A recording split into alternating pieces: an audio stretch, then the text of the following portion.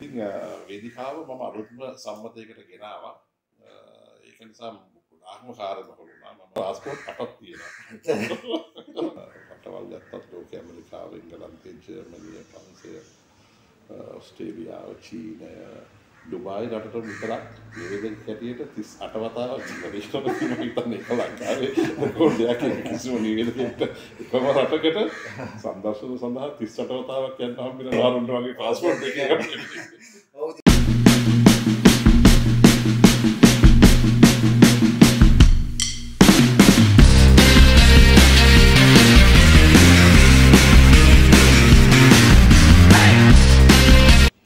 ශෝෂලි political ශ්‍රී Lankan සංගීත අද තවත් වැදගත් වීඩියෝ එකක් ඔයගලන්ට ගෙනල්ලා දෙනවා.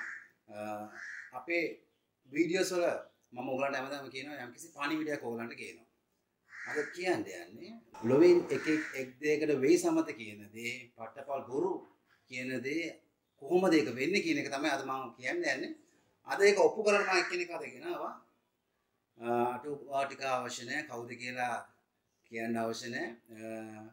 දැක්කම ඔයගලන්ට පේනවා. අද අපත් එක එකතු වෙන්නේ අප අද වැඩසටානට තිලක් කුමාර රත්නායක මහත්මය ආගමන් කෙලතුමාව අගන්නවා විශේෂයෙන් එතුමාව හඳුන්වා දෙන්න අවශ්‍ය නෑ යමු ප්‍රශ්නයට අංක එක මොකක් දන්න ඔගලන්ට මේක විශේෂයෙන් කියන්න ඕනේ. අපි තියෙන දේවල් හැම දෙයක්ම ඔගලන්ට දෙන්න බලනවා. කොහොමද මේ දේවල් ඔගලන්ට වැදගත් වෙන්නේ කියලා.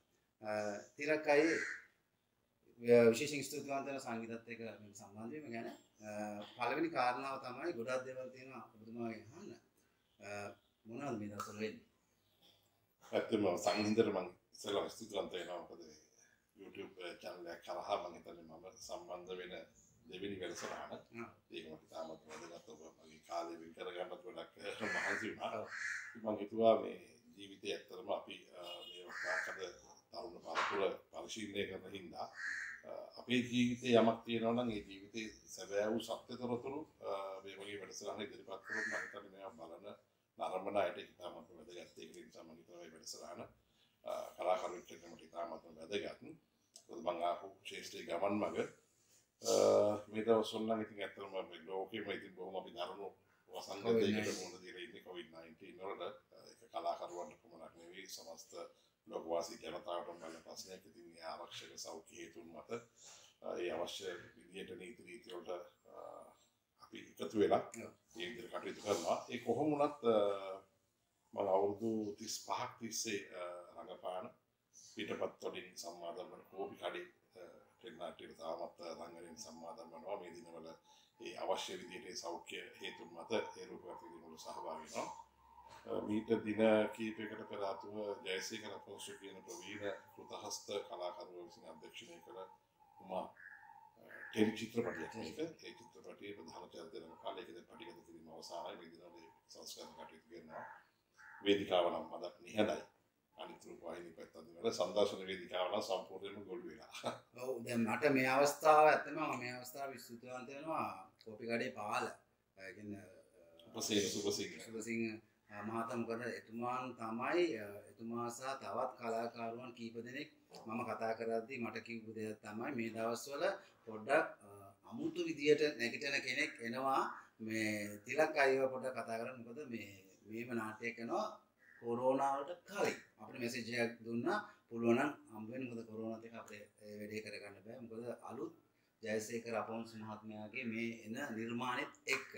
ඉතින් මම දැන් අර කලින් කිව්වනේ මම ඔප්පු කරන්න යනවා කියලා. ඉතින් තිලක්කයි මේම දැන් අද අපි ගත්තොත් ගායකයෙක් කිව්වොත් ගායකයෙක් විතරයි. නමුත් තිලක් අයියාගේ තියෙන හැකියාවත් එක්ක ඒක කලාවට විවිධාකාර විදිහට සපයලා තියෙනවා. දැන් කොහොමද මේක? අනිත් එක මම සමාජ මාධ්‍ය අපි අපේ කණ්ඩායම සමාජ මාධ්‍ය අපි දැක්ක දෙයක් තමයි ඒ වීඩියෝස් වලට එපු මැසේජස් තමයි අද රටේ ඉන්න නිවේදකයන් අතරේ භාෂාව නියමාකාරව පාවිච්චි කරන භාෂාව හරියට කතා කරන නිවේදන කරනකොට සාමාන්‍ය නිවේදකයාගේ නිවේදනයෙන් අපි ගීතයෙන් බලාපොරොත්තු වෙන නමුත් නිවේදකයාගේ වචන වලට වශී වෙලා නිවේදනයේ ඒ පෞරුෂය පිළිබඳව ඔබතුමාගේ හැකියාව පිළිබඳව මිනිස්සු හුඟක් දෙනෙක් කතා කරනකොට අපි ඒවත් දැක්කා. සමාජ මාධ්‍ය ඔස්සේ තිබ්බ ඒ මැසේජස් එක. ඉතින් මොකක්ද මේ ඔබතුමා එකෙන් නිවේදන ශිල්පය ඒවාගේම රංගන ශිල්පයා දැන් අලු වැඩකට පටන් ගන්න තියෙනවා කෝම ඉස්සල්ලාම එකට ඇත්තම මේ නිවේදන ශේෂ්ත්‍රය ගන්න කතා කරන මම ඉස්සෙල්ලාම සුදු අන්ද වෙන්න ඕනේ අමරදාස ගුණවර්ධන මහත්මයාට. ඇත්තටම මම නිවේදකයෙක් වෙන්නම් මගේ එහෙම බලාපොරොත්තුවක් තිබුණේ නැහැ. මම රංගන ශිල්පියෙක් හැටියට තමයි මුලින්ම ගමේ වෙසක් නාට්‍යවල රඟපාලා. එතනින් පස්සේ ප්‍රසිද්ධ වේදිකාවට ඇවිල්ලා ඊට පස්සේ රූපවාහිනිය ස්පර්ශ කරද්දී තමයි දවසක් කෝපි කඩේ ටෙලි නාට්‍ය බලද්දී අමරදාස ගුණවර්ධන මහත්මයා බොහොම ශ්‍රේෂ්ඨ පුද්ගලයෙක් අපේ රටේ එයා ස්වාධීන රූපවාහිනී සේවයට කතා කරලා කියලා තිබුණා. අර කෝපි කඩේ සෝමදාසගේ මේ වොයිස් එක හරි හොඳයි. අපිට බැයිද? යාව ගෙන්න පොඩි ස්ක්‍රීන් ටෙස්ට් එකක් කරන්න කියලා. මොකද අපි අලුත්ම ස්වීප් ලොතරැයියක් වෙළඳපොළට හදලා දෙන්න හදනවා. අපි ඒකට නිවේදකෙක් හොයනවා. ඒකට සම්බන්ධ කරගන්න අපි කැමැත්තක් තියෙනවා. ඊට පස්සේ ස්වාධීන රූපවාහිනී සේවයෙන් අජිත් ජයවර්ධන මහත්තයා මට කතා කරලා පණිවිඩය දුන්නා. ඊට පස්සේ මම ටෙස්ට් එකකට ගියා. පස්සේ ඒගොල්ලෝ ටෙස්ට් එක බලලා ඇවිල්ලා මම තමයි ශනිදා වාසනාව කියන ලතරේ පළවෙනි නිවේදකයෙක් හැටියට ආවේ. ඒක ජීවිතේ රූපවාහිනී නිවේදකයෙක් හැටියට තමයි ඉස්සෙල්ලාම මම අත්පොත් ලැබුණේ ඒක ඉතින් මගේ ජීවිතේ වැදගත්ම දෙයක්. එතනින් පස්සේ දිගට මේ වැඩසටහන් කරා. ඊට පස්සේ තවත් ලතරයි විවිධ ලතරයි නිවේදකයෙක් හැටියට කටයුතු කරද්දී තමයි සංදර්ශන වේදිකාව සඳහා ඉල්ලුම ලැබෙන්නේ මට මම හිතන්නේ ඒක නොහිතපු විදිහට සංදර්ශන නිවේදක පැත්තේ කලා කටයුතු කරන්න අවස්ථාව ලැබුණා ඔබ කිව්වා වගේ මම අමුතුම ස්ටයිල් එකක් මම නිර්මාණය කළා කාවත් අනුකරණය කරේ නෑ. මගේ හඬමයි. දැන් නම් අද මගේ හඬ අනුකරණය කරන ගොඩක් අය ඉන්න මම ඒකට ආසයි. කැමති කලක් අය ආස කියලා මට තිලක් අය වගේ හඬ අපිට තියෙනවා නම් හොඳයි කියන එක නිසා ඒගොල්ලෝ පරපුරක් සූදානම් වෙනවා. ඉතින් වේදිකාව මම අලුත්ම සම්මතයකට ගෙනාවා. ඒක නිසා ගොඩාක්ම කාර්යබහුල වුණා. මම රටවල් ගත්තත් ලෝක ඇමරිකාව එංගලන්තය ජර්මනිය ප්‍රංශය ඔස්ට්‍රේලියාව චීනය ඩුබායි රටට විතරක් නිවේදක හැටියට 38 වතාවක් ජීවිතේට මම හිතන්නේ ඒක ලංකාවේ. රෙකෝඩයක් කිසිම නිවේදකයෙක්ට එකම රටකට සම්දර්ශන සඳහා 38 වතාවක් යන්න හම්බෙන්නේ නැහැ. ලෝකෙ කිසිම නිවේදකයෙකුට ඕන එකපාරයි. දෙපාරයි ඒ වගේ රටක තාම පුරවැසිභාව දෙන්නේ නැතිනම් පුරවැසි කියලා ඊට පසද කුවේ දෝහ කටාර බාරයෙන් සිංගප්පූ වගේ කටල් ගියා. මගේ විශේෂයෙන් මට පාස්පෝර්ට් අටක් තියෙනවා. ඒක මම හිතන්නේ බොහොම තෘප්තිමත්. නීත්‍යානුකූල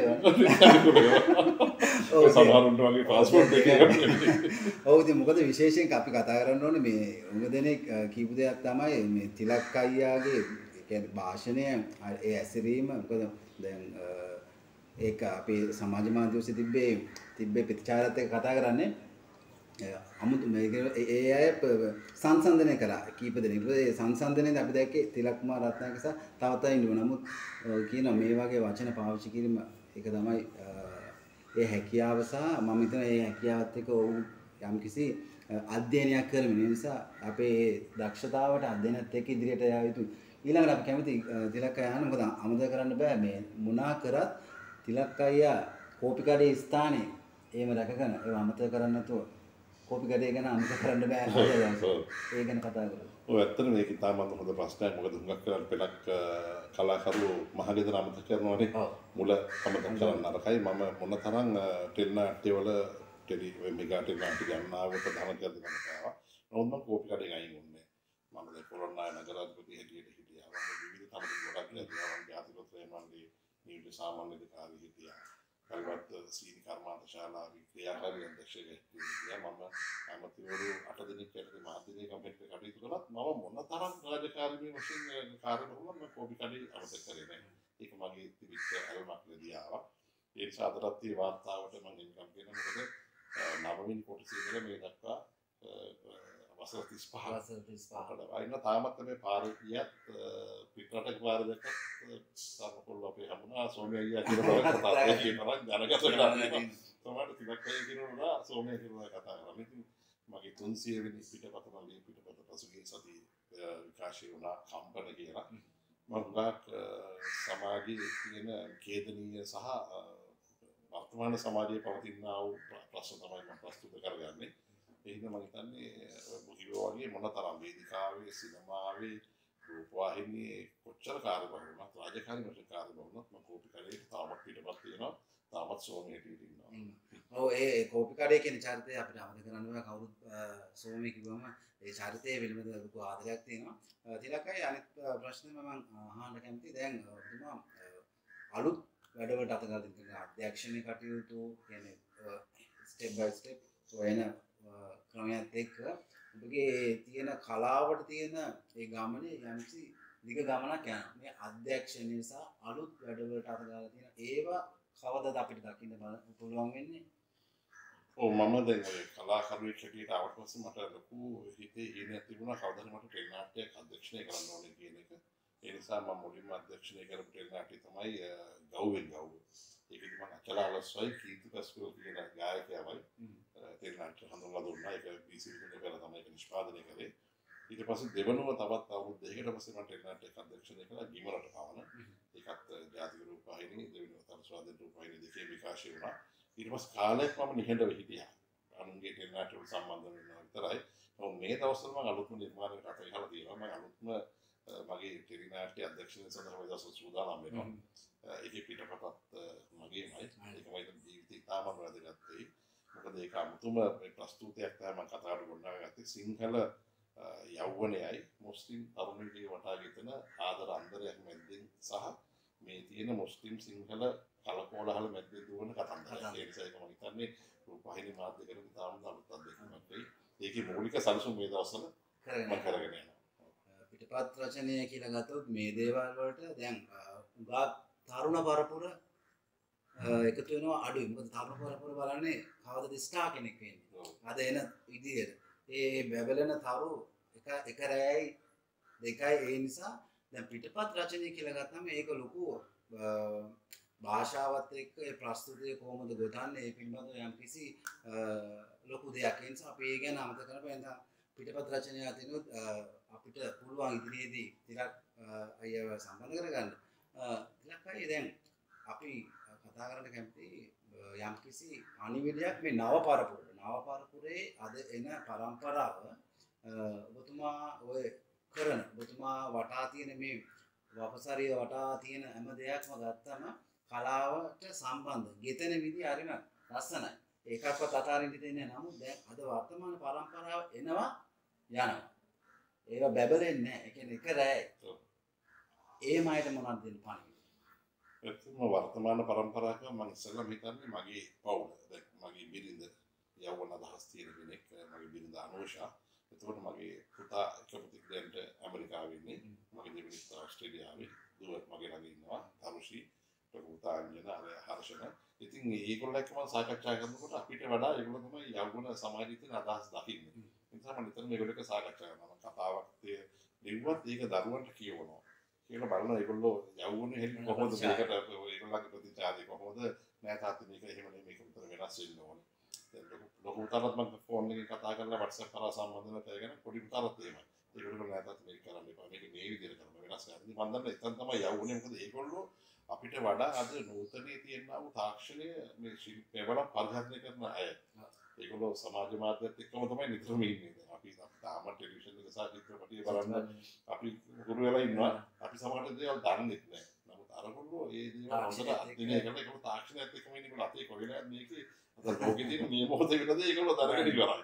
ඒ නිසා මම ඒගොල්ලෝ එක්ක සාකච්ඡා කරලා හිතා ගන්නවා මේ තරුණ පරපුර කොට ඕනේ මොකද්ද? ඒගොල්ලෝ කැමති මොකේද කියන එක මම හඳුනා ගන්නවා. ඒ අතර ඔය ඔය ඔයා කිව්වා යවුන පරපුර මට ගොඩාක් හම්බෙලා තියෙනවා. ස්ටාර්ස්ලා කියන කට්ටිය. ඒ වේදිකාවේදී ඕන තරම් හම්බෙලා තියෙනවා. ටෙල්නාටි එකට ගියත් පෙරක් වෙනවා. මේ පළවෙනි ටෙල්නාටි කරපුවම ඒගොල්ලන්ට අර මේ වැඩි හිටියන්ට සලකන ඒවා ප්‍රවීණය කියන එකක් දැන් ඒගොල්ලෝ හිතන්නේ දැන් අපි තමයි හරි. අපි ජනප්‍රිය මගේ ටෙල්නාටි ජනප්‍රිය මගේ ජනප්‍රිය කියලා කන්ද කියන මේවා කියලාගෙන ඒගොල්ලෝ ෂූට් එකට આવත් පැත්තකට තමයි ඉන්නේ. සමාවෙන්න ඕනේ. කියන්න ඕන දේ කියන්න ඕනේ අපි සංගීත තුලින් බලාපොරොත්තු වෙන්නේ යම්කිසි සෝෂලි පොලිටිකල් ශ්‍රී ලංකා කියලා පටන් ගත්තේ යම්කිසි පණිවිඩයක් දෙන්න. මේ තිලක් අයියා කියන මේ කතාව අපේ වැඩසටානේ මේ කියවන කියන හතරවෙනි කෙනා. හතරවෙනි කෙනා. මොකද අද ඉන්න පරම්පරාව ගෞරව කරනවා අඩුයි. ෆෝන් එක මේ හෙඩ්ෆෝන් එක ෆෝන් එකමයි කෝල් වෙලෙත් කියන දේ. ෆෝන් එකක් දාගෙන සිින්දුවානවා නමුත් තියෙන සම්බන්ධතාව ටීම් වර්ක් එකක් නෑ ඉතින් මේ දේවල් මම හිතන්නේ මේ කියනකොට තිලක් අය විතරක් නෙමෙයි මේ කිව්ව කීප දෙනෙක් ඒක ඒ කියන්නේ ඇත්ත. ඒ නිසා ඒක වැදගත්. අලුත් පරපුරට අපි කතා කරනවා මේ දේවල් වෙනස් කරන් ඉදිරියට යමු. ඔව් දැන් මම ඒක ඒක කියන්න අදහස් කරේ දැන් මගේ වේදිකා නාට්‍යයක් තියෙනවා නම් දැන් මේ වේදිකා නාට්‍යයක් නේ දර්ශන 100ක් විතර දැන් ගිහිල්ලා ඉවරයි. ඒත් මට දැන් අද තියෙනවා නම් ටවර් එකේ එකේ ෂෝ මම අද උදේ කරන්නේ පිටපත නැවත වේදිකාවේ අද්දේ ඒක. පිටපත මම අරන් යනවා ශාලාවට ගිහිල්ලා මේකක් දාන්න මම පිටපතේ මොකද මම බයයි එක වචනයක් හරි වැරදුනොත් ඒක මගේ රංගනේ අසාර්ථකත්වයක් වෙයි කියලා. නමුත් දැන් ඉන්නේ එහෙම නෑ. හරියට මම කරේ ඕන දෙයක් කරන්න කියලා චරිතය තුළ ජීවත් වෙන්නේ. මම කියන්නේ කලා පරපුරා කෙනෙකුට ඔහු ඒක නිකන් දහන්නේකට සමවැදිලා වගේ භාවනාවක් වගේ කරන්න ඕනේ. ඒකට කවදාවත් එයාට ඒක පිටවන්නේ ටෙලි පිටපතක් වුණත් අපි ඉතින් ෂූටින් ගිහලා මේකප් දාපුවම අපි සහ අධ්‍යක්ෂවරයා පිටපත ඉල්ල ගන්නවා. ඒකට පැත්තකට ගිහලා මේකේ අපේ චරිත විතර නෙවෙයි. අනිත් චරිතත් එක්ක කියවනවා. පසුබිම කියවනවා. ඒ කියවලා තමයි චරිතෙට අපි ආරූඪ වෙන්නේ. නමුත් අනිත් පරපුර දැන් කියන්නේ තමන්ගේ පාට එක කරා පැත්තකට දැන් අපි නම් මගෙත් අනිත් ශිල්පියා රඟපානවා නම් මගේ කොටස අයින් වෙන්නේ. ඔව්. මම එයාට මගේ පැත්තේ ඉඳලා මගේ ඩයලොග්ස් ටික කරලා ආපහු මම සහයෝගය දෙනවා. ඒ කියන්නේ එයාගේ පැත්ත ෂූට් කරද්දිත් මම එයාට සහයෝගය දෙනවා. නමුත් අද හුඟක් අය තමන්ගේ කොටස කරලා එයා පැත්තකට යනවා. අපි මේක තනිකර අරය මෙතන ඉන්නවා කියලා තමයි කැමරේකට තමයි කියන්නේ. ඒක විය යුතු නෑ ඒ ඇස් වලින් එන සම්බන්ධතාවය යාගේ අංග චලනයත් එක්ක තමයි අර ශිල්පියාට ඇගේ ඇග තුළ යමක් නිර්මාණය වෙන්නේ. ඒකට අපි සහයෝගය දෙන්න ඕනේ. ඔය මේ මට හොඳටම අවස්ථාවක් මතකයි. වගේ මේ ගායන ස්ථා ලෝකෙ කෙනෙක් බැබලිච්ච කෙනෙක් වේදිකාවට එනකොට වේදිකාව ළඟ යට ඉඳන් හිටියා මේ ලතා වල්පොල මහත්මිය. අපි තාමත් කතා කරන්නේ කලාශූරී ලතා. ආ ලතා කොහොමද කියාගෙන ආවේ? ලතා කිව්වා ඔය ඉන්නවද? ඔයා කීවිලට ඉන්නේ? නෑ මේ මම මම තව ගොඩක් පස්සේ ඉන්නේ. නමුත් අකමට තව ෂෝ හතරක් පහක් තියෙනවා. මම ඉක්මනට ටාස්ක් එකට කියලා යන්න දෙන්න. අක්ෂර නිහතමානී ශ්‍රේෂ්ඨ සම්මානීය ගායන ශිල්පියෙක් කිව්වා. ආ මේ දුව එනවා කියලා යන්න ඔයාලට වැඩ තියෙනවද කියලා. අද එයා ගෙදර ලතා කතාවත් අන්න ඉන්නවා. අන්න ඒක තමයි තරු පායන විතරයි කියලා කිව්වේ. ඉතින් මම උත්සාහ කරේ මොකද දන්නවද මේ දැන් තිලක් අය දැන් මම කිව්වනේ ඔයගොල්ලන්ට ඔප්පු කරනවා කියලා. දැන් ලොවෙන් එක එක දෙකට වේසමත කියන දේ අද ඔප්පු වුණා. මොකද ඒක තමයි ඇත්ත.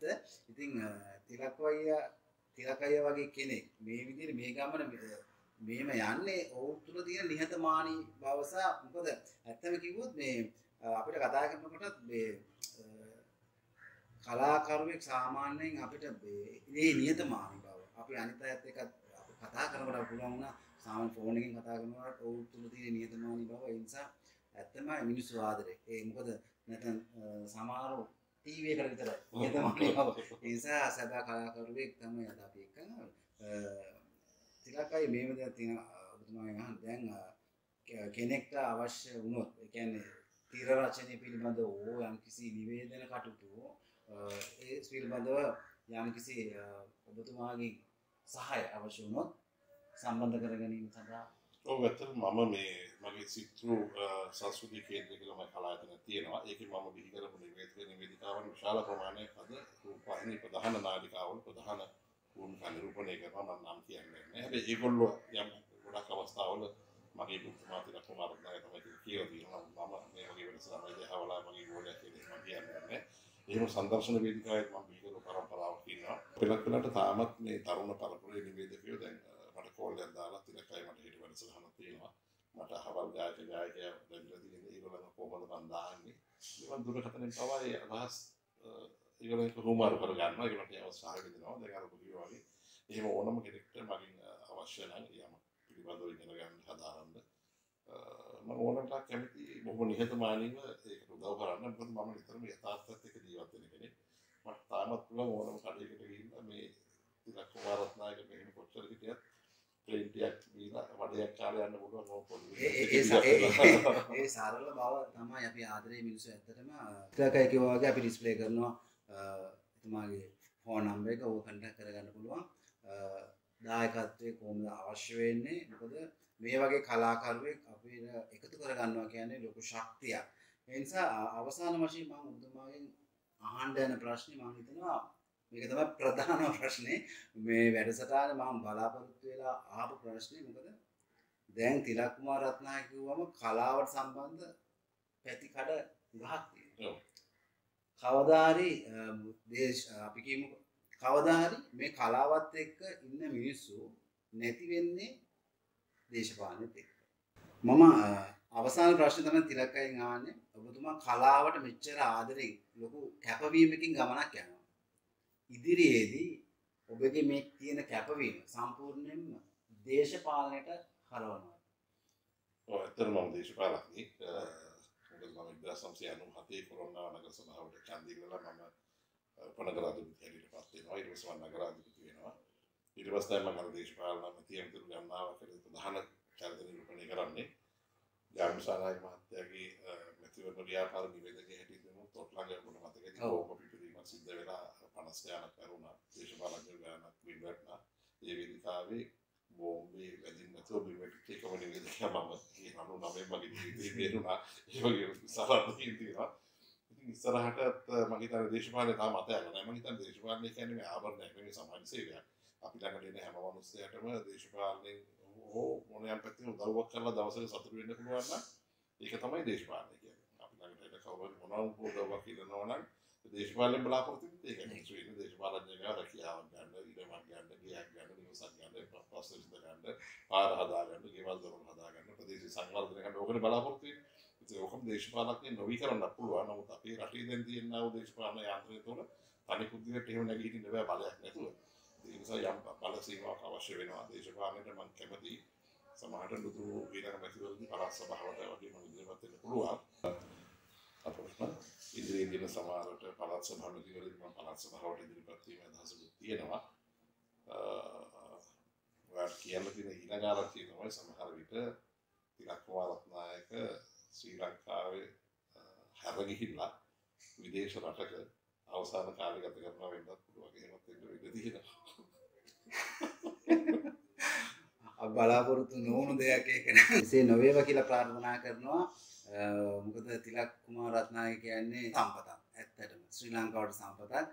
මෙතුමාගෙන් තවත් පරම්පරා කීපයක් ඉන්නවා. ඉගෙන ගන්න මෙතුමා වගේ ඇත්තමකොත් වෙන්ඩ අරස්සලක වගේ කෝල් කරලා අහන්න කොහොමද මේක? ඒ නිසා අපි ඔබතුමාට ප්‍රාර්ථනා කරන ඉදිරියේදී ලංකාවේ ලොකු වැඩක් කරන්න කලාව සම්බන්ධයෙන් සහ අවසාන වශයෙන් ස්තුතිවන්ත වෙනවා ඔබතුමාට සංගීත සංගීත එකතුවීම ගැන අමතක කරන්න බෑ මේ වීඩියෝ එක ගොඩක් වැදගත්. මේ වීඩියෝ එක ගොඩක් වැදගත් කියන්නේ නිවේදනයක් වෙන්න ආස නම් ඔබට නළුවෙක් වෙන්න ආස නම් එහෙම නැත්නම් පිටපත් රචකයෙක් වෙන්න ආස නම් කලාවට සම්බන්ධ උගක් පැතිකට තියෙනවා. ඒ සඳහා දොර විවෘතයි. ෂෙයා කරන්න මේ වීඩියෝ එක ලයික් කරලා කමෙන්ට් කර කමෙන්ට් එකේ ඔයගලන්ට එවන්න පුළුවන්. තිලක් කුමාර රත්නායක අයියාගෙන් මොනවාද අහන්න අවශ්‍ය වෙන්නේ විශේෂයෙන්? ඒ නිසා ඒ ඉදිරි වැඩ කටයුතු වලට සම්බන්ධ කරගන්න කොහොමද කියලා සබස්ක්‍රයිබ් කරලා SL සංගීත නොටිෆිකේෂන් එක දෙන්න ගන්න අපිට වීඩියෝ එකක් ඔයගලන් ළඟට ගෙන ගන්න පුළුවන්. ඒ නිසා අමතක කරන්න මේ වීඩියෝ එක ගොඩාක් විශේෂයි. මම පොඩ්ඩක් මේ තුස්ලිම් බුතු වෙලා ඉන්නේ අර අවසාන ප්‍රශ්නේ. නිසා රටට දිල කුමාර රත්නය කියන ඇත්තටම සම්පතක්. ඕන මොහොත කතා කරන 0.71යි 44යි 83යි 0.28 0.71යි 44යි 83යි 0.28 අනිත් එක 0.72යි 301යි 2055 0.72යි 301යි 2055ට ෆෝන් එකක් කතා කරනවා ස්තුතියි